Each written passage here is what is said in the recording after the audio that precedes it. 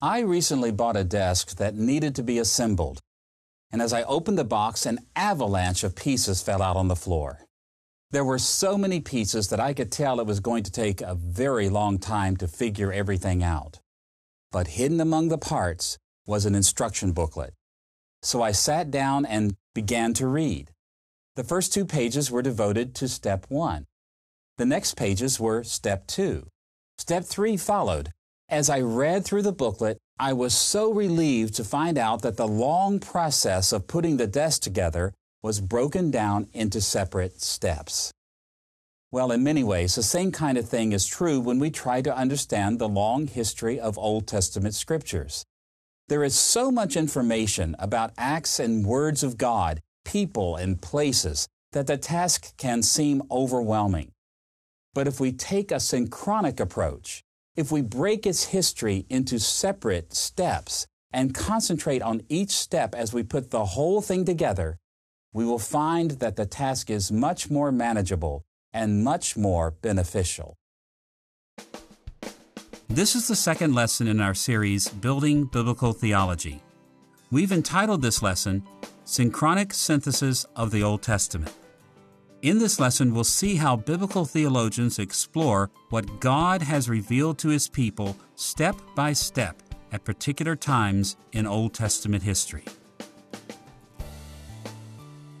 In our previous lesson, we saw that historically, Christians have used three main strategies to understand the Scriptures literary analysis, looking at the Bible as a literary portrait designed to convey certain perspectives, thematic analysis, looking at the Bible as a mirror, reflecting our contemporary or traditional topics and questions, and historical analysis, looking at the Bible as a window to the historical events that it reports.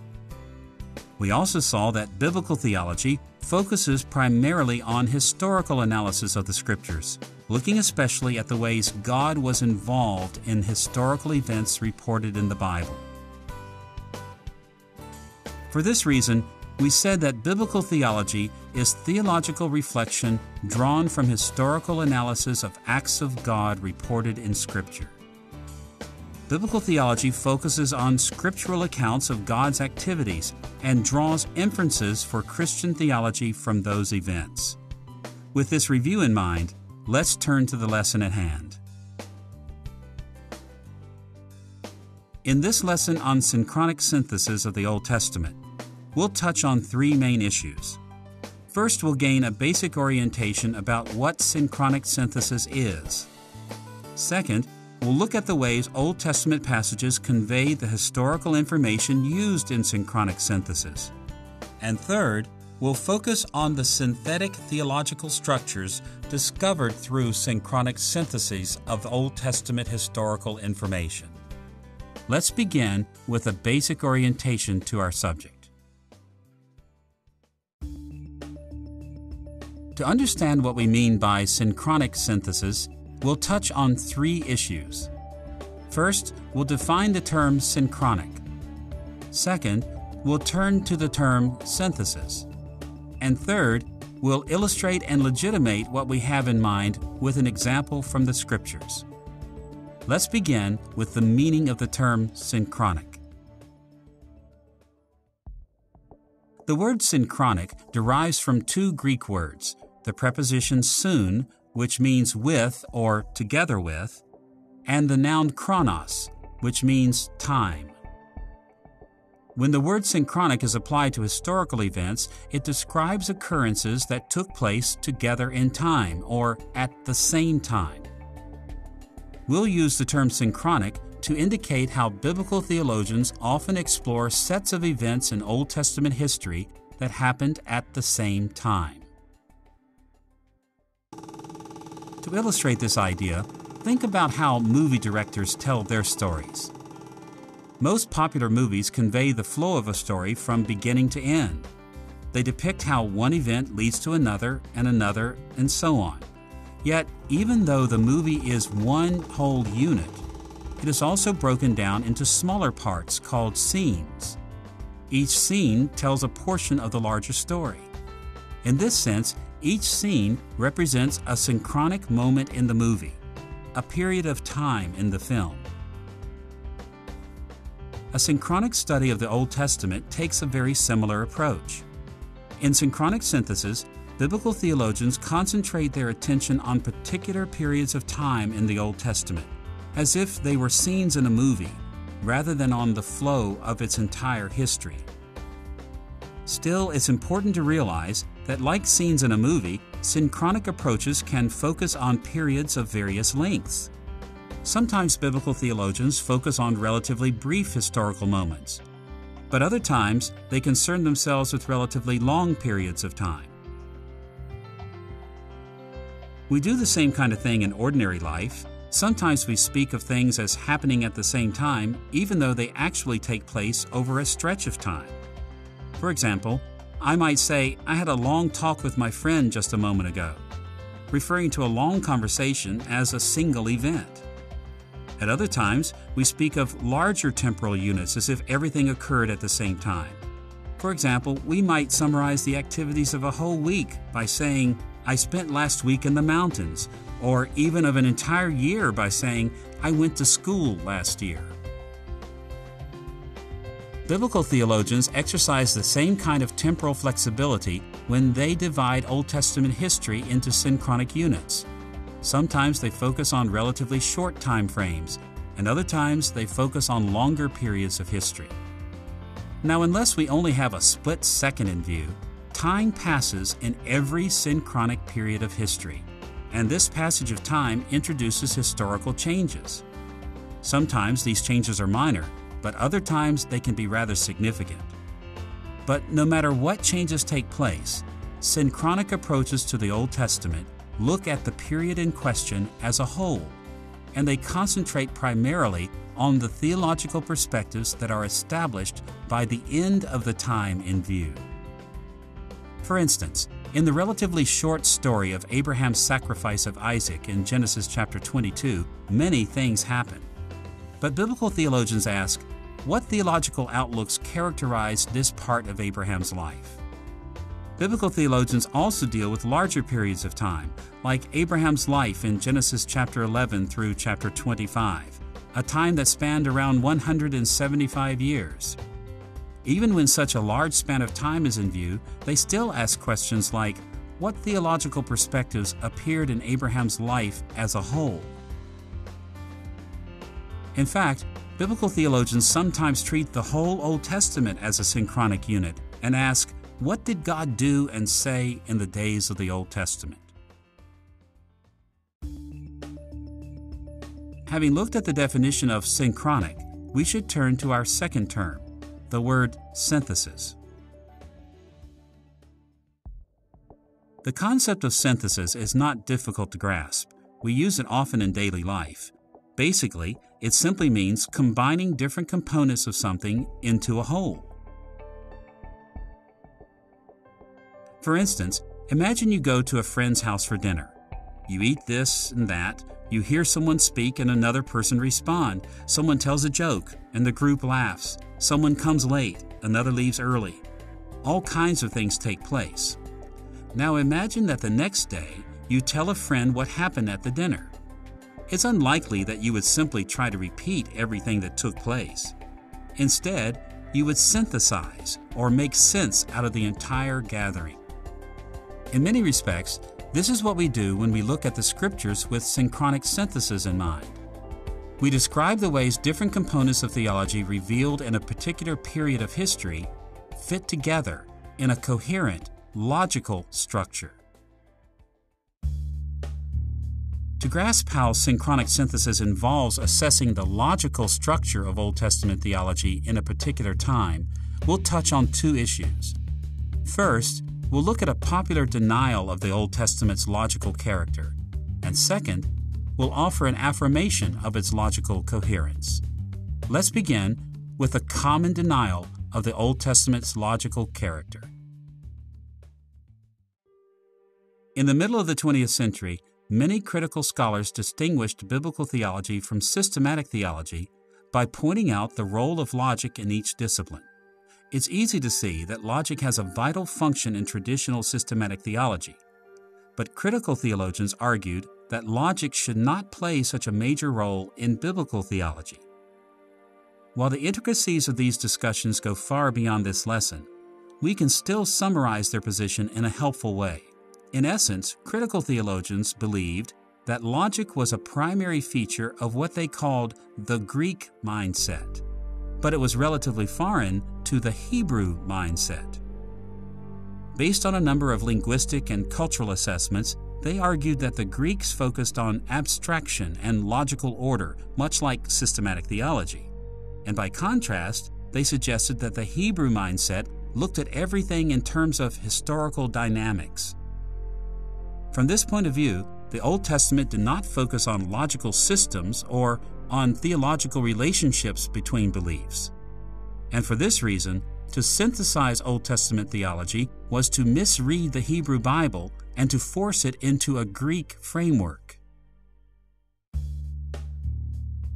In distinction from this denial, an affirmation of the logical character of the Old Testament stands on at least two grounds.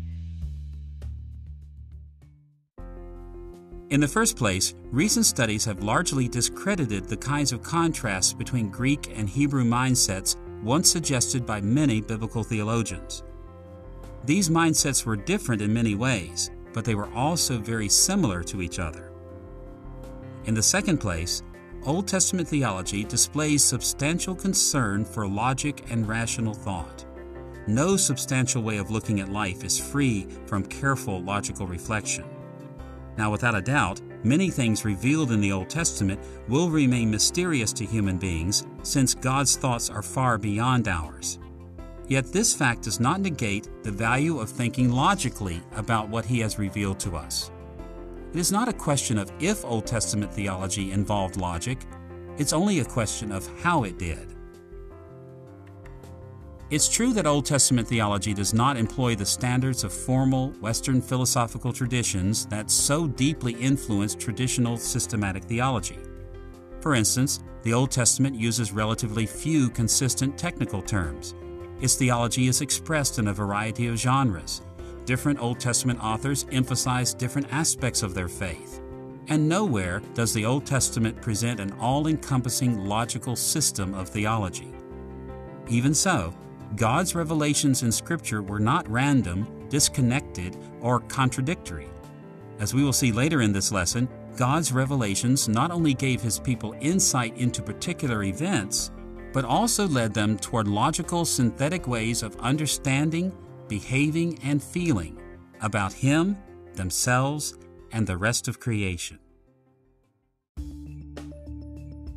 With this basic idea of synchronic synthesis in mind, it will help to see an example of this approach in the Bible itself. As we look at the scriptures, we find that characters and writers often divided the Old Testament into different historical periods and synthesized the theology they found there.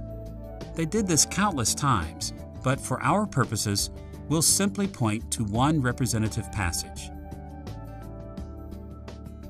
Listen to what Paul wrote in Romans chapter 5, verses 12 through 14. Sin entered the world through one man, and death through sin. And in this way, death came to all men because all sinned. For before the law was given, sin was in the world. But sin is not taken into account when there is no law. Nevertheless, death reigned from the time of Adam to the time of Moses even over those who did not sin by breaking a command, as Adam did, who was a pattern of the one to come. In these verses, Paul treated the time stretching from Adam's fall into sin to the giving of the law at Mount Sinai as one synchronic unit, a single period in history. His main concern in this passage was to prove how the far reaching effects of Adam's sin foreshadowed the far reaching effects of Christ's obedience. And to make this point, Paul synthesized several theological features of the time between Adam and Moses. In verse 12, Paul mentioned that sin entered the world through one man, and death through sin. Here he alluded to Genesis chapter 3 verses 14 through 19, where human death resulted from human sin. Next, Paul described the period between Adam's fall and Mount Sinai as a time before the law was given, a time when people did not have codified laws like the Ten Commandments and the Book of the Covenant. He also said that during this time, people did not sin by breaking a command as did Adam. That is to say, they did not violate specifically formulated directives from God like Adam had in the Garden of Eden.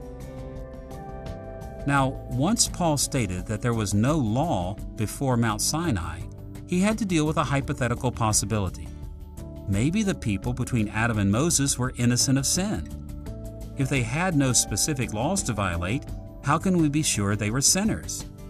To answer this question, Paul pointed to another feature of that time. Death reigned from the time of Adam to the time of Moses. His argument was that if men and women were under the curse of death, then by logical inference, they must have been sinners. In the larger context of this passage, Paul also went on to say that Jesus' obedience to God solved the problem created by Adam's sin. Just as the single act of Adam's disobedience brought death to everyone joined to Adam, Christ's single act of obedience brought life to everyone joined to Christ. And for this reason, he said that Adam was a pattern or type of Jesus. Notice how Paul's argument worked here. First, he synchronized the time from the fall to the giving of the law into one period, and the time from Christ through the present into another period. Second, he synthesized each period by tying some of its different features together in a logical fashion. In short, he did the same thing that responsible biblical theologians do and his model means that synchronic synthesis is also a legitimate practice for modern Christians. Now that we have seen what synchronic synthesis is and shown that the New Testament legitimizes this approach, we're ready to turn to an essential step toward creating synchronic syntheses the process of discerning historical information in the Old Testament. As we saw in the previous lesson, biblical theologians are particularly concerned with two types of historical events divine act revelations, that is, things that God did, and divine word revelations, the things that God and His messengers said. Before biblical theologians can synthesize the theology of a period in the Old Testament, they must first gather information about the historical events the acts and words of God that occurred at the time they have in view. These historical facts become the basic building blocks of their synchronic synthesis. Now, at first glance, this might seem like a rather easy thing to do. We might think that we only need to repeat what the Bible says happened at particular times. But as we will see, gathering historical information from the Bible requires great care. The Old Testament does not come to us as a catalog of historical information. Rather, it contains narratives, poetry, law, wisdom writings, genealogies, different types of psalms, prophetic speeches, and many other genres. All of these genres reveal information about God's acts and words, but this historical information is wrapped in each genre's literary features. And for this reason, biblical theologians have to find ways to gather historical information from each type of literature. Time will only allow us to explore this process with two major types of literature poetry and narratives. But what we learn about these genres will alert us to the kinds of concerns that apply to other genres as well. Let's begin with the ways poetry communicates historical information. When we speak of Old Testament poetry, we have in mind passages like the Psalms, some wisdom literature, much of Old Testament prophecy, and smaller portions of other books as well. To discern facts about God's actions and words from these scriptures, we have to account for how the literary features of poetry reveal historical information. To look into these matters, we'll touch on two issues. First, we'll look at the two worlds that Old Testament poetry always considered And second, we'll see how concern for these two worlds affects the process of discerning historical information in poetry. Let's look first at the two worlds of Old Testament poetry. Poets of the Old Testament were interested in two different worlds that tell us about history. On the one hand, they gave attention to the world they wrote about, what we will call that world. When writing about that world, they provided objective facts about God's acts and words. In the first place, poetry often opened windows to the past. For example, one well known poetical passage is the song that Moses and Miriam sang at the Red Sea in Exodus chapter 15, verses 1 through 21. Moses included this poetry in the book of Exodus in part to give his readers historical information about what God had done at the Red Sea. In the second place, Old Testament poetry often provided windows to contemporary historical information from the writer's own time. For example, Psalm 1 recommends meditation on the law of God. To express the importance of God's law, the psalmist drew attention to patterns of God's ongoing blessings for faithful servants and his judgments against sinners. In this sense, Psalm 1 gave its readers insight into current events of that time. In the third place, at times Old Testament poets turned their readers' attention toward the future. For instance, in Isaiah chapter 40, verses 1 through 11, Isaiah predicted a time when the exiles of Judah would return to their land. In one way or another, Old Testament poetry often conveyed information about the revelatory acts and words of God in the past, present, and future. Old Testament poets also focused on the world of their readers, which we will call their world. They focused on their world by designing their text to influence the lives of their original readers in particular ways. For example, the Song of Moses and Miriam in Exodus chapter 15 encouraged Moses' early readers to move forward with confidence toward the Promised Land. Psalm 1 was written to inspire constant meditation on God's law. And the predictions of Isaiah chapter 40 were designed to encourage those facing exile to maintain hope for a glorious return to the Promised Land. Old Testament poets drew their original readers' attention to that world of God's act and word revelations in order to speak to their world, the times in which their early readers lived. Now we should explore how the two worlds of Old Testament poetry affect the ways we can discern historical information from these portions of the Bible. we can be confident that what Old Testament poets told their readers about the past, present, and future was true. They were inspired by God, who only speaks truth. But they often described history in ways that were something other than straightforward. And for this reason, to know what poets actually intended to communicate about objective historical facts, we have to understand the literary conventions of Old Testament poetry.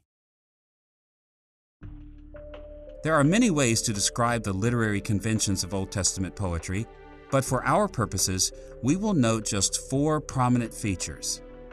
First, poetical passages employ unusual vocabulary and syntax designed to make readers ponder what is written. Second, Old Testament poets used many figures of speech, such as metaphors, similes, analogies, and hyperboles to describe historical realities indirectly. Third, poets express their own imaginative reflections to incite compelling imaginative sensory experiences in their readers. Fourth, they convey their own emotions to stir emotional reactions in their readers. These characteristics appear to some extent in other biblical genres as well, but they were concentrated, central features in Old Testament poetry. To see how these characteristics affected the communication of historical information, we'll look at a portion of one poetical passage we've already mentioned the Song of Moses and Miriam at the Red Sea in Exodus chapter 15. Listen to what Moses wrote in Exodus chapter 15, verses 6 and 7. Your right hand, O Lord, was majestic in power. Your right hand, O Lord, shattered the enemy. In the greatness of your majesty, you threw down those who opposed you. You unleashed your burning anger. It consumed them like stubble. As we have seen, in this passage, Moses referred to the historical event of Israel's crossing of the Red Sea. Yet these verses do not give a wooden description of what God did. For example, God's right hand was not actually visible at the Red Sea, even though Moses said that God's right hand shattered the enemy. And the Egyptians were not burned by fire, even though God's burning anger consumed them like stubble. Instead, the narrative account in Exodus tells us that God sent a mighty east wind that separated the waters of the sea, allowing the Israelites to pass on dry land. Then God drowned the pursuing Egyptian army by causing the waters to return as the Egyptians crossed. So, why did Moses speak of God's right hand and of his burning anger consuming the Egyptians like stubble? Moses relied on the common Old Testament metaphor of God's right hand to characterize this event as God's mighty attack against his enemies. He employed an exaggerated simile likening the Egyptians' condition to burned stubble, not to reveal the means of their destruction, but to reveal how thoroughly and horribly they were destroyed. Moses also wanted to incite imaginative experiences of the event in the minds and hearts of his readers. He expressed his own enthusiastic praise for God, and he inspired others to do the same. Moses intended his poetry to be taken as a true record of the event, but he never meant it to be read as a literal wooden description. When we acknowledge the poetical features of Exodus chapter 15, verses 6 and 7, we can discern its historical information with relative ease. We might summarize these verses in a variety of ways, depending on the aspect of the text that is our focus. For example, if we were to focus on the way it uses figures of speech to relate historical data, we might summarize it in this way God set Israel free by miraculously destroying the Egyptian army in the Red Sea. This example makes it clear that we must approach Old Testament poetry with care. We must not read it the same way we read prose. Instead, we must distill historical information by recognizing poetry's unusual vocabulary and syntax, its figures of speech, its imaginative concerns, and its emotional impacts. Only then can we derive more realistic understandings of God's acts and words that contribute to our synchronic syntheses of Old Testament theology. Now that we have touched on some of the ways we can discern historical information in poetry, we should turn to the genre of Old Testament narrative. We are all familiar with Old Testament narratives. Books like Genesis, Exodus, and many others are comprised largely of narratives, true stories about historical people, places, and events. Biblical theologians often draw heavily from narratives because their stories reveal many details about history. They report words and speeches, names of characters, places where events occurred, and various historical connections. These and other features make narratives rich resources for synchronic synthesis. But discerning historical information requires careful interpretation even of narratives. We will look at narratives in the same way we discuss poetry. First, we'll see that narratives were also designed to provide information about two worlds. And second, we'll examine how to discern historical information in this genre. Let's look first at the ways these portions of the Bible record historical information about two worlds. Much like poets, the authors of narratives also stood between two worlds. On the one side, they wrote about the world that was the subject of their text, or that world. Unlike poetry, however, narratives largely focus on the past and only rarely mention the present or the future. For instance, Moses wrote about the primeval and patriarchal history in the book of Genesis, even though he lived much later in history. Old Testament authors often wrote about times that preceded the days in which they lived by hundreds of years. On the other side, authors of narratives also dealt with their world, the world in which their readers lived. They wanted their readers to think, act, and feel in certain ways within their own worlds in the light of past events. So, as Moses wrote about the primeval and patriarchal periods, he described those ancient days in ways that taught his Israelite readers about their own privileges and responsibilities. All authors of Old Testament narratives wrote about the past for the sake of their readers living in later times. Old Testament narratives were designed to have many different influences. They were doxological, leading readers to praise and worship God. They were theological, explaining truths about God. Some were political, focusing on current national events, as well as polemical, opposing false teachings. They were moral, explaining how God's people should live. They were motivational, encouraging every kind of faithful response. In short, Old Testament narratives were didactic. They were designed to teach early readers about their lives. Now, in the narrative genre, most of this didactic purpose was implicit. Authors expected their readers to infer theological principles from their stories. Even so, this didactic aspect was very intentional. Authors always wrote in order to teach their readers about their own lives.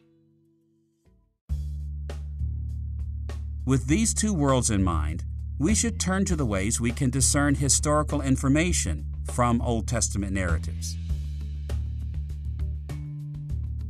Unfortunately, modern evangelicals often make the mistake of expecting Old Testament narratives to be like modern journalistic historical writings. Since the 17th century Enlightenment in Europe, many historians have sought to apply the standards of scientific rigor to written historical accounts. In this view, historians must seek to be as exacting as their counterparts in sciences like chemistry and biology. There are many ways to summarize these rigorous standards, but we may say that in this outlook, trustworthy historical accounts must be comprehensive, precise, and objective. That is to say, true historical records will include every significant fact about a situation to give a balanced account. They will report details with exacting precision, or will at least acknowledge that they haven't. And they will avoid all subjective evaluations that may prejudice readers. Now we can understand why these modern ideals developed. After all, it's far too easy to confuse fact with fiction when historians do not reach for these standards to some extent. Yet the authors of Old Testament narratives did not completely follow these modern ideals. Now, they did not propagate religious fantasies, nor did they present historical errors or fabrications as fact. But they did write in ways that were determined largely by their didactic purposes and not by our modern sensibilities. To see how this is true, let's look briefly at the three modern standards that are often mistakenly applied to Old Testament narratives, beginning with the idea that historical accounts should be comprehensive. Simply put, Old Testament stories were only as comprehensive as suited the didactic purposes of their writers. They did not include every significant fact. Consider an example from the book of Chronicles. When the writer of Chronicles composed his history of Solomon's life in 2 Chronicles chapters 1 through 9, he followed the record of 1 Kings chapters 1 through 11 fairly closely. but he omitted every negative dimension of Solomon's reign. He omitted references to Solomon's marriage to Pharaoh's daughter and other foreign women, his creation of worship centers for their gods at the temple, and the severe prophetic condemnation Solomon received. By practically any measure, these negative events were highly significant. After all, according to 1 Kings chapter 11 verses 11 through 13, Solomon's failures led to the division of the nation. But the chronicler determined not to include them because of his didactic purposes.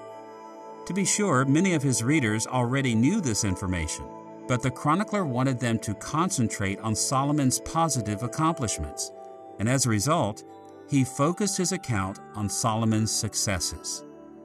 Old Testament authors felt no compulsion to include every significant fact. They did not meet the modern criterion of comprehensiveness in good history writing. Nevertheless, their narratives are true and authoritative records of the past. In the second place, Old Testament authors were only as precise as their didactic purposes required. There is a vital difference between precision and truth. Every day of our lives, we speak of things imprecisely without misrepresenting the truth. When someone asks, What time is it? we don't hesitate to say, It's 2 o'clock, when it might be more precisely 2 minutes and 20 seconds after 2 o'clock. In every aspect of life, precision is always a matter of degree. And so long as we respond with as much precision as is needed, no one accuses us of misrepresenting the facts. Well, in many ways, the same kind of thing was true for Old Testament authors. They were only as precise as they needed to be to reach their didactic goals. Consider, for example, Genesis chapter 1 verse 7, where Moses wrote about Earth's atmosphere in this way. So God made the expanse and separated the water under the expanse from the water above it. Here, Moses wrote that God placed the expanse in the sky using the Hebrew word rakia. The term rakia meant some sort of flattened solid material. As this passage tells us, this solid material separated the water under the expanse from the water above it. As modern people, we know that Moses' description of Earth's atmosphere is scientifically imprecise. Moses spoke this way because the sky appeared to him and to many others to be like a ceiling or tent of blue crystal or lapis lazuli. It was commonly held that rain resulted from the blue waters above pouring through holes or chimneys in this solid ceiling. Of course, the omniscient God of Scripture could have revealed to Moses a more scientifically precise understanding of Earth's atmosphere if he had wanted to. But this was not what the Holy Spirit wanted his people to learn. Moses did not misrepresent the true condition of nature, but he did speak of it imprecisely, as it appeared to him. Knowing this, we have to be careful not to overestimate the level of precision Moses intended to reach in Genesis chapter 1 verse 7. We would be mistaken to conclude that it was a historical fact that God put a solid barrier in the sky, or that God placed waters above and below a solid barrier. Instead, our assessment of this historical record must acknowledge Moses' imprecision and focus on his didactic purpose. For instance, we may rightly say from Genesis chapter 1 verse 7 that God ordered the sky, that God established the sky to make earth habitable, and that God ordered the sky in a way that was good. Responsible interpretation must acknowledge the fact that Moses and other biblical authors spoke of historical facts with only enough precision to meet their didactic goals. The question of precision also moves to the foreground when we consider reports of words and thoughts in Old Testament narratives. Consider just one example. In 1 Kings chapter 9 verse 5 and 2 Chronicles chapter 7 verse 18, we find a description of God's words in response to Solomon's prayer at the dedication of the temple. Let's compare these passages. In 1 Kings chapter 9 verse 5, we read these words from God. I will establish the throne of your kingdom over Israel forever, just as I spoke to David your father, saying, A man of yours will not be cut off from the throne of Israel. In 2 Chronicles chapter 7 verse 18, we read these words from God. I will establish the throne of your kingdom just as I covenanted with David your father, saying, A man of yours will rule over Israel. Now, the larger contexts of these two verses make it clear that they refer to the same historical event. But the wording is not precisely the same. In 1 Kings, God spoke to David, but in 2 Chronicles, he covenanted with David. And in 1 Kings, God said, A man of yours will not be cut off from the throne of Israel. While in 2 Chronicles, he said, A man of yours will rule over Israel.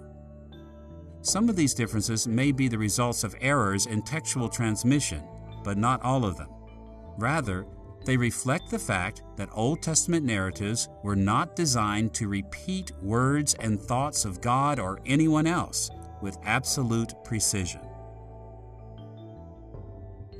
In reality, neither the writer of Kings nor the author of Chronicles intended to be utterly precise. What they wrote was historically true. They did not misrepresent what God said. But their levels of precision were determined by their didactic goals not by modern notions of precise record keeping. Responsible interpretation distills what God said with levels of precision that match the biblical records. We can be confident that God said he would establish David's dynasty, and that God promised to uphold his covenant with David, and that a descendant of David will always rule over Israel. But seeking much more precision than this would be misguided. As we explore the genre of narrative in synchronic synthesis, we face many different kinds of imprecision.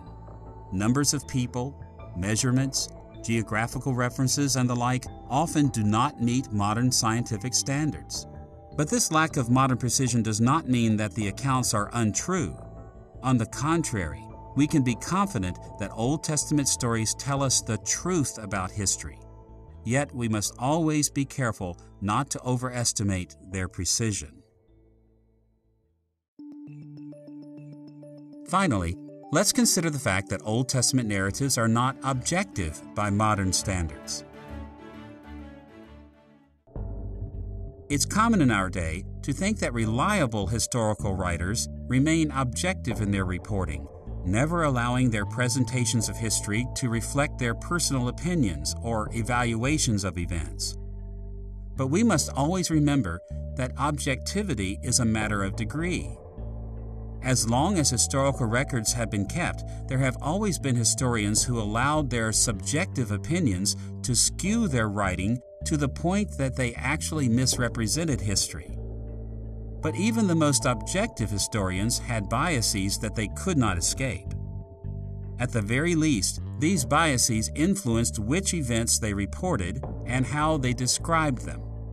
In this sense, we know that historical writings have never been entirely objective. This is even true when it comes to the Old Testament. God inspired Old Testament authors to shape the opinions of their readers. This goal influenced what they omitted, what they included, and how they described what they included. At times, it even moved them to express their biases and assessments boldly. For example, listen to these words from Genesis chapter 13, verse 13, where Moses reported that Lot pitched his tents near Sodom. Now the men of Sodom were wicked and were sinning greatly against the Lord. We should not shy away from Moses' evaluation of Sodom. He gave his opinion on the city, but his moral outlook was inspired by God and therefore correct. We should feel free to say things like, Lot turned from God to associate with wicked men, or the city of Sodom was full of wicked people. These statements represent objective truths about the historical conditions of that day. In summary, we can say with confidence that Old Testament narratives were not designed to meet modern standards of history writing. They only present fully reliable historical information that will enable us to construct synchronic syntheses of Old Testament theology. Having seen some of the ways we can discern historical information in the Old Testament, we can now give attention to our final topic synthetic theological structures. In this portion of our lesson, we'll focus on the ways God's revelations in different periods of Old Testament history formed synthetic, logically coherent theological structures. When we speak of synthetic theological structures, we mean that divine revelations fit together so that they form coherent or logical perspectives on theological issues. Now, this is not to say that human beings ever comprehensively understand the logical connections among all the things that God revealed. It is rather that God's revelations were not isolated from each other nor were they logically incompatible with each other. When viewed properly, they form logical patterns of belief, or what we are calling synthetic theological structures. We will look at this subject in two main ways. First, we'll touch on the variety of sources from which we must draw to discern these synthetic theological structures in the Old Testament. And second, we'll see that these theological structures appear on a variety of levels. Let's consider first the different sources we must keep in mind. As we explore the variety of sources from which we discern theological structures, we'll first consider biblical revelations, and second, we'll look at extra biblical revelations. Whenever we interpret any scripture, we must be ready to use every resource available. But it helps to think in terms of these two basic categories of resources. Let's turn first to biblical revelations that show us theological structures. The Scriptures are a central concern when we discern theological structures in any period of Old Testament history. But one question that often arises is this to which portions of Scripture should we look? For the sake of discussion, we'll divide this question into three types of biblical passages as they relate to a period of time in view. First, synchronic passages, portions of Scripture that deal with the historical period under consideration. Second, antecedent passages, portions of the Bible that deal with history prior to the period in view. And third, subsequent passages, portions of Scripture that deal with revelation from later periods of time. Consider first how synchronic biblical passages help us discern theological structures. When we speak of synchronic passages in this context, we do not mean passages that were written at the same time, but passages that describe the same period of time. On occasion, information about the theology of a period appears in only one passage of Scripture. But most of the time, periods of Old Testament history are described in more than just one place. When this is the case, we need to combine all the information Scripture provides. Since we believe that the Scriptures are inspired by God, we affirm the harmony of all its parts. We hold that every biblical comment on the history and theology of a period is true and fits coherently with everything else we know about that period. Biblical authors do not contradict each other. Rather, they complement each other harmoniously. So we must not limit ourselves to just one passage. We must be ready to draw from many synchronic portions of the Bible to determine what God did and said in particular historical periods. In addition to synchronic passages, there are many times when we must also draw from antecedent sections of the Bible. Here we're not thinking about portions of the Bible that were written before others, but passages that focus on earlier periods of Old Testament history. What God did and said at earlier times often sheds light on the theological structures of later times. For example, in Genesis chapter 12, verses 1 through 3, God offered Abraham innumerable descendants and the inheritance of the promised land. These words from God appear over and over in the chapters of Genesis devoted to Abraham's life, and they are critical to understanding the theological structures of his lifetime. Yet there is no explicit explanation of their prominence during Abraham's life. This issue can be answered best by biblical passages dealing with antecedent or earlier periods of time. For instance, in Genesis chapter 1 verse 28, God commanded his images, Adam and Eve, to multiply and have dominion over the entire earth. This numerical and geographical expansion of God's image over the earth has always been essential to God's purposes for the human race. Later, when Moses wrote about Abraham, he built on this earlier theological structure.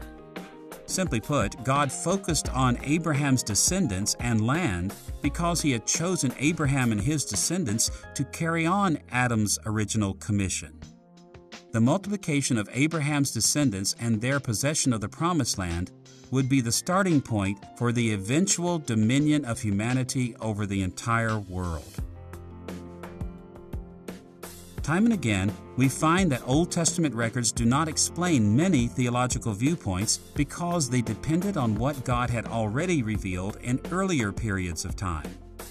For this reason, we must always make ourselves aware of antecedent revelations as we study the theological structures of a particular portion of history. Besides synchronic and antecedent scriptures, subsequent or later passages also help us discern theological structures. As with other types of passages, subsequent passages are not those that were necessarily written later. Rather, they are scriptures that deal with later periods of history. For example, listen to God's word to Abraham in Genesis chapter 12 verse 3.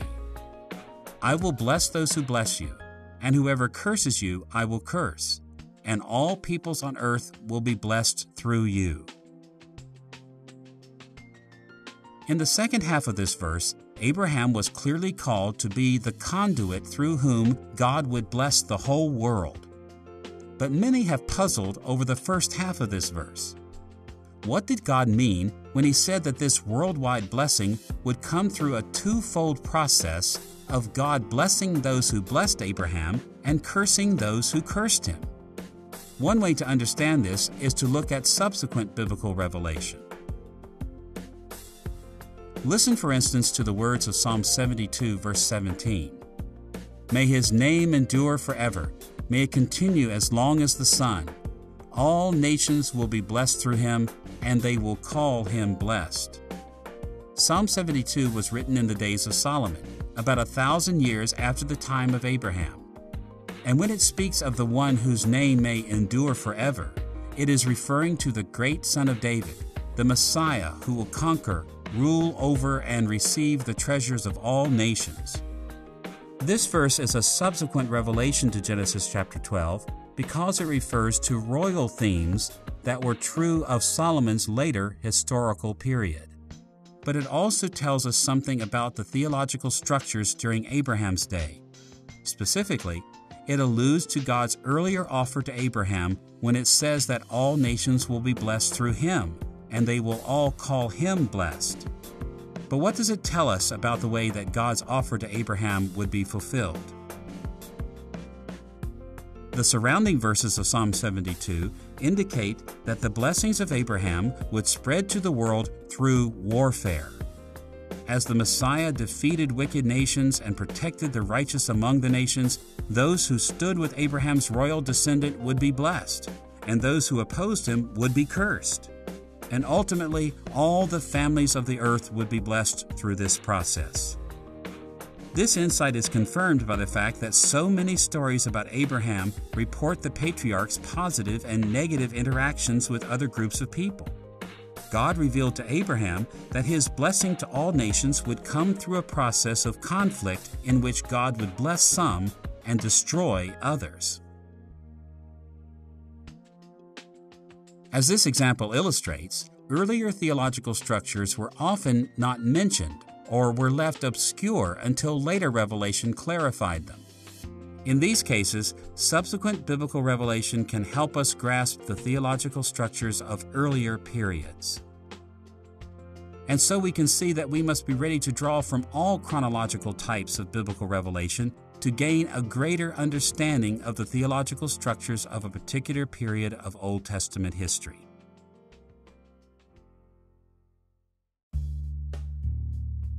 Now we should turn to a second major source that enables us to see the theological structures that characterize periods of the Old Testament extra biblical revelation, God's revelation outside of Scripture. As we seek to understand the theological structures of a period in the Old Testament, it's important to remember that no biblical passage was written in a theological vacuum. Old Testament authors wrote their texts within a context of beliefs and theological structures that they shared with their characters as well as their readers. God has disclosed these theological frameworks through two kinds of extra biblical revelation. First, he disclosed them through general revelation, the revelation of God in all things. And second, he gave them through special revelations not found in Scripture. Both the Old Testament and New Testament teach that from the very beginning, every person has learned at least some true theology through general revelation. Passages like Psalm 19 and Romans chapter 1 verses 18 through 21 indicate that God has clearly revealed his nature, his moral requirements, and the consequences of sin to all people through all of creation. We can summarize the matter this way. Despite the fact that sinful people often suppress what they know from general revelation, at some level they still understand enough true theology to make them responsible to comprehend God's special revelations. Because of the reality of general revelation, Old Testament authors always assumed that historical characters in their stories and later readers of their stories all shared many true theological perspectives with them as the authors. They felt no need to explain certain things explicitly because many basic theological structures were already in place. Consider just one passage that is often misconstrued by modern theologians because they forget about general revelation. For example, in Genesis chapter 22 verse 12, we read that God stopped Abraham from sacrificing his son with these words. Do not lay a hand on the boy, he said. Do not do anything to him now I know that you fear God, because you have not withheld from me your son, your only son. Unfortunately, this passage is often misconstrued by contemporary theologians. Because the angel said, Now I know that you fear God, a number of interpreters have suggested that Abraham believed that God did not know what he would do before this moment in the story. In other words, they hold that the theology during this period did not include belief in the omniscience of God. But the biblical testimony concerning general revelation indicates quite the contrary. In Romans chapter 1 verse 20, Paul stated that all people know God's invisible qualities, like his omniscience. Now, of course, sinful people suppress this knowledge and can misconstrue God's words to Abraham. But general revelation makes it clear that Moses' record of this moment in Abraham's life does not suggest that God was limited in his knowledge. Time and again, general revelation is assumed by biblical writers. When Gentiles received messages from Israel's prophets, like Jonah and Daniel, they did not form their theological outlooks solely on the basis of the few things these prophets said explicitly. God's messengers spoke to these pagans with the confidence that they understood much about the true God of heaven and earth through general revelation. As we seek to grasp the theological structures that characterize the period of Old Testament history, we must always remember that there is much that remained unwritten because biblical authors assumed general revelation.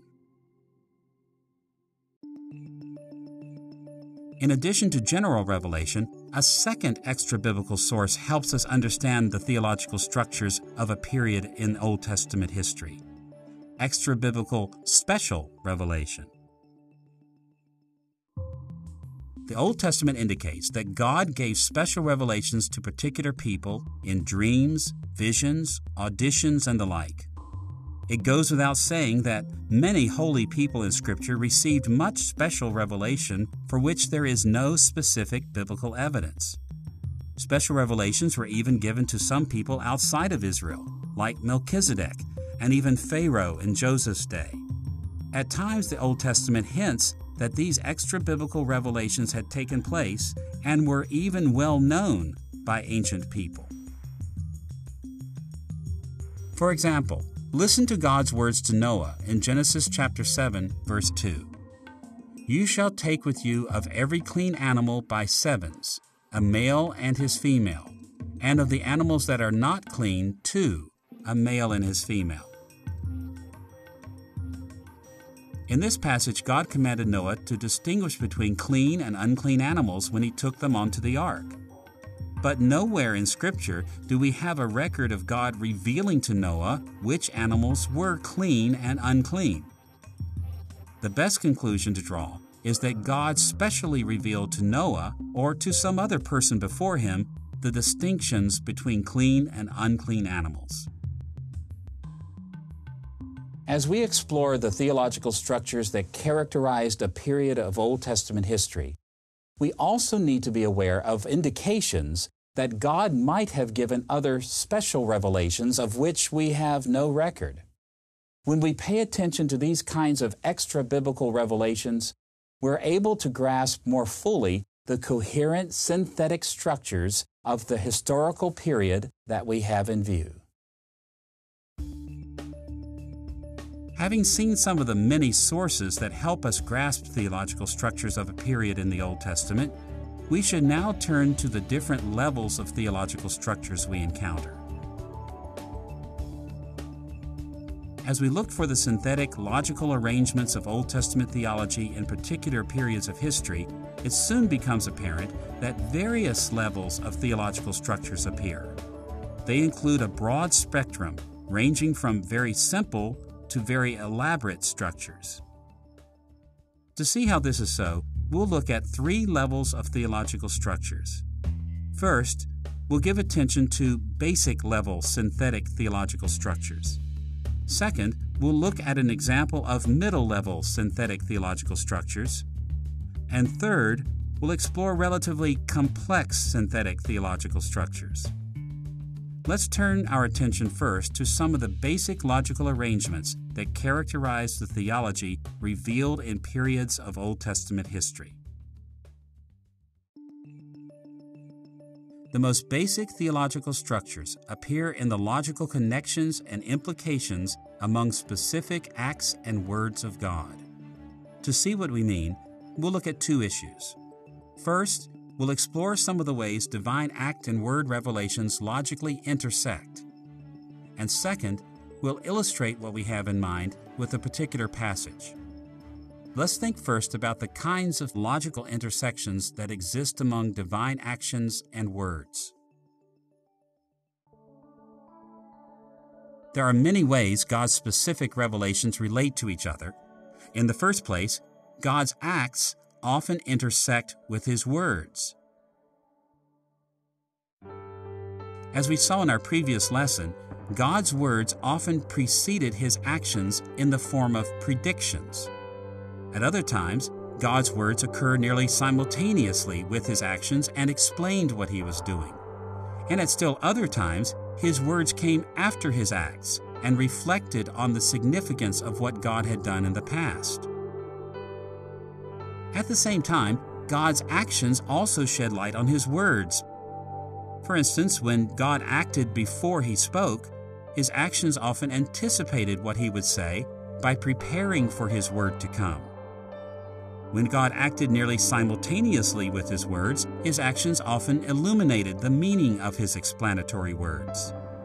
And of course, when God acted after He had spoken, He often did so to fulfill His previous words. But in addition to this, basic theological structures appear in the ways God's actions logically intersect with His other actions. In these cases, logical coherence comes into view in a number of ways. To name just a few possibilities, sometimes one act of God was simply added to or combined with another act. At other times, one thing that God did foreshadowed another action that He performed. Acts of God prepared the setting for additional acts, and at times, divine actions caused other acts to occur. And beyond this, basic theological structures also appear as we see how God's Word revelations logically intersect with other Word revelations. Once again, the possible associations are innumerable. To name just a few, one word may simply have been added to another. One word may have been the logical basis for another, or one word may have explained another. The various ways God's acts and words related to each other established many logical arrangements. The intersections of God's specific actions and words formed countless intricate webs of logical implications. These implications formed synthetic theological structures or coherent theological perspectives that God established at particular times in Old Testament history. With this general idea in mind, it will help to illustrate how intersections of divine acts and words form coherent theological structures in a particular passage. Consider, for instance, a portion of the story of Eve's creation in Genesis chapter 2, verses 15 through 22. There we read these familiar words The Lord God took the man and put him in the Garden of Eden to work it and take care of it. The Lord God said, It is not good for the man to be alone. I will make a helper suitable for him. Now the Lord God had formed out of the ground all the beasts of the field and all the birds of the air. He brought them to the man to see what he would name them. And whatever the man called each living creature, that was its name. But for Adam, no suitable helper was found. So the Lord God caused the man to fall into a deep sleep. And while he was sleeping, he took one of the man's ribs and closed up the place with flesh. Then the Lord God made a woman from the rib he had taken out of the man, and he brought her to the man. Consider first some of the logical intersections between God's actions and words. The passage begins in verse 15 with God putting the man in the garden to take care of it. This act intersected with God's word in the first half of verse 18 when God said, It is not good for the man to be alone. At first blush, we might have thought that Adam's life in the Garden of Eden was grand, but God's word reflected on his previous action and noted that Adam's isolated existence was not good. In a similar way, we also see that the words of the second half of verse 18, I will make a helper suitable for him, predicted God's action of fulfillment in making the woman in verse 22. These logical connections between God's acts and words reveal a simple theological structure, a coherent set of beliefs that grew out of this period in history. God created human beings to tend his garden but this task required both males and females. God's various actions in this story also intersected with each other in ways that reveal synthetic theological structures. God had already formed animals in preparation for Adam to exercise authority by naming them in verse 19. Verse 20 tells us that Adam did not find a helper among the animals, and this partly explained the purpose of Adam's interaction with the animals. These acts of God revealed a simple theological perspective a logical way of looking at these things. God ordained men to rule over the animals, not to find their suitable helpers among them. Finally, we can also see a logical intersection between two revelatory words in verse 18. On the one hand, God said, It is not good for the man to be alone. This statement is the reason for God then saying, I will make a suitable helper for him. This logical connection reveals the coherent theological point of view that God's resolution for man's unacceptable solitary existence was the creation of a suitable helper. This simple example illustrates what we encounter time and again in the Old Testament synthetic theological structures, coherent theological perspectives are revealed through the intersections of divine acts and words. Now we should turn to middle level theological structures that characterize periods of Old Testament history. The significance of specific acts and words of God often becomes clearer when we give attention to synthetic theological structures that are of a middle or moderate complexity. As we just saw, single acts and words of God did not occur in isolation from each other. And the same was true of sets of His actions and words. They fit within other, more complex theological structures that characterize the period of history that we have in view. There are many kinds of middle level synthetic structures, but for our purposes, we will focus on just one divine covenants. First, we'll sketch the logical dynamics of covenants, and then we'll illustrate how this logical structure helps us grasp the theology of a period of history. Consider first the logical dynamics of covenants. It's long been recognized that the faith of Old Testament Israel was covenantal. The concept of covenant permeates the scriptures. Although there are many things we might say about covenants, we'll simply look at one aspect of divine covenants in the Old Testament how they help us understand the coherence of particular divine revelations. Although each covenant in the Old Testament had unique features, they all exhibited a logical way of understanding three main elements divine benevolence, human loyalty, and the consequences of blessing for obedience and curses for disobedience. The relationship between God and human beings was always governed by logical connections among these three elements. God showed benevolence in the ways He brought people into relationship with Him and sustained them in that relationship. But in response, human beings were expected to show loyalty to God by keeping His commands. Additionally, each covenant in the Old Testament established consequences, blessings that would come to those who were obedient to the commands of God, and curses that would come to those who were disobedient. It's very important to realize that every moment of Old Testament history was governed by these logical covenant structures. They formed, as it were, a template that helps us see the underlying organization of all of God's act and word revelations.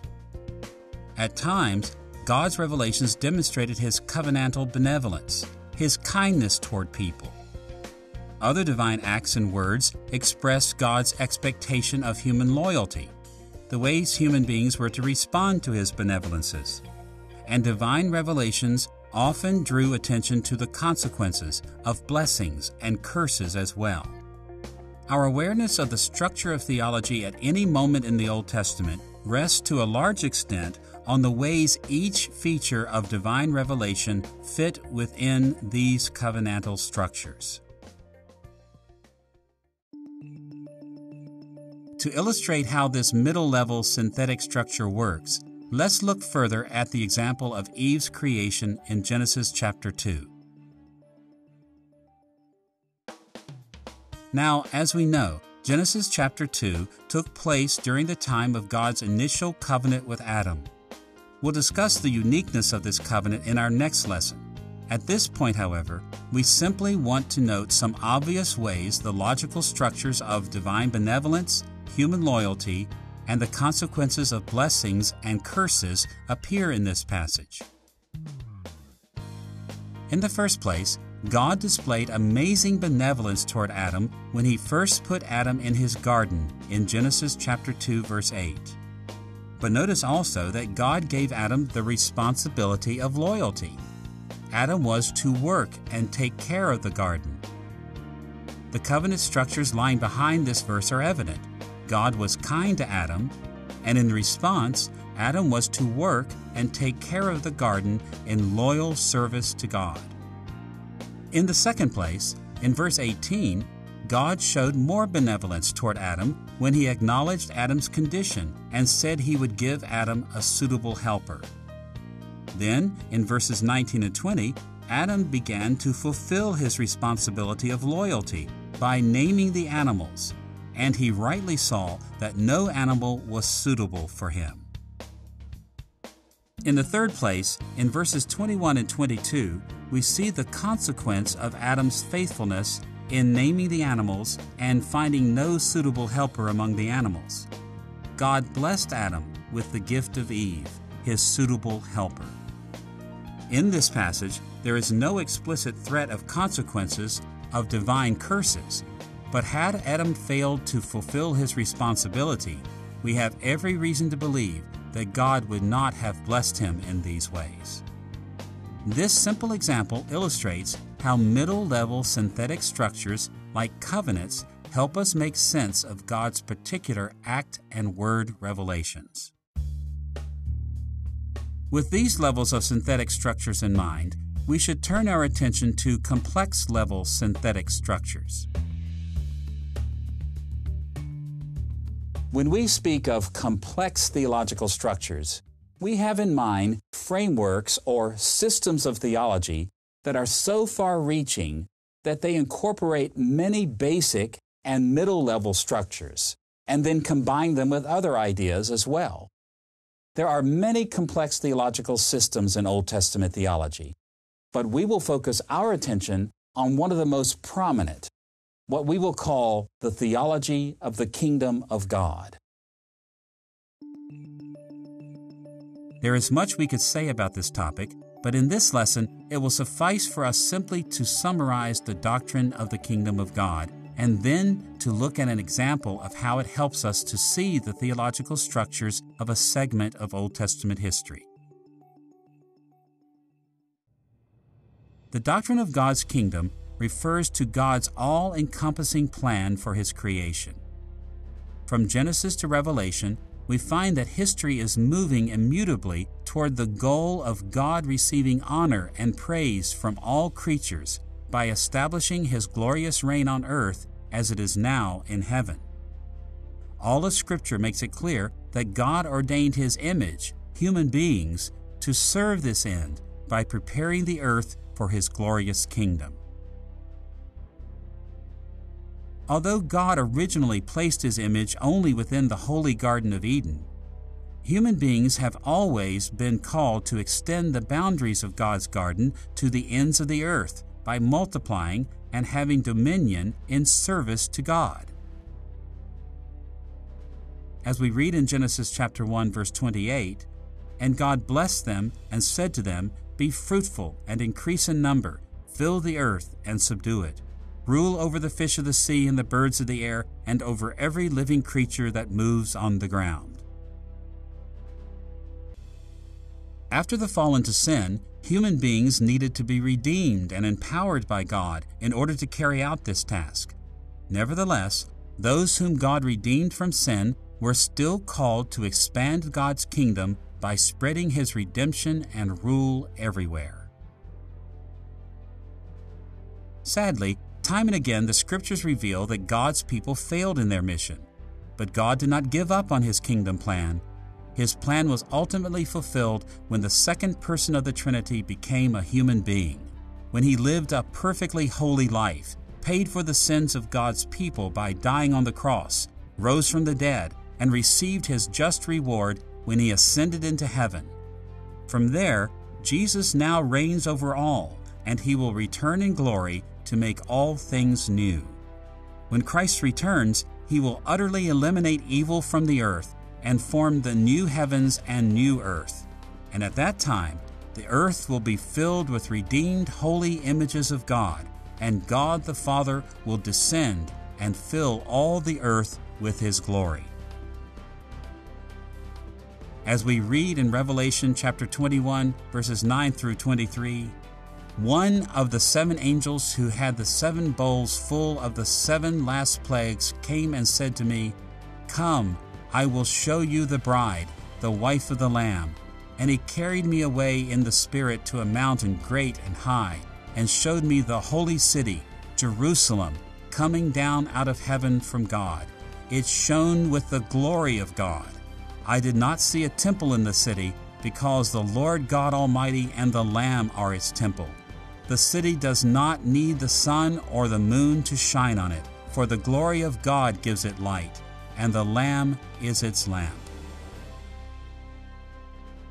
Prior to this consummation of all things in the glorious return of Christ, God has called his redeemed people to take up the cause of spreading his kingdom.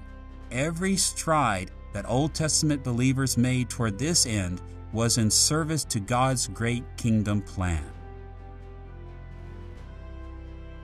This biblical vision of God's kingdom coming to earth forms an all embracing synthetic theological structure that helps us understand God's revelations in history. His kingdom plan lies in the background of everything he ever did and said in the Old Testament. God will be glorified by his image extending his reign to all the earth.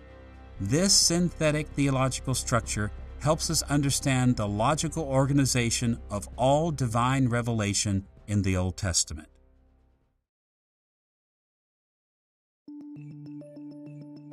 To see how this complex theological organization helps us understand particular portions of Old Testament history more clearly, consider once again the example of Eve's creation in Genesis chapter 2.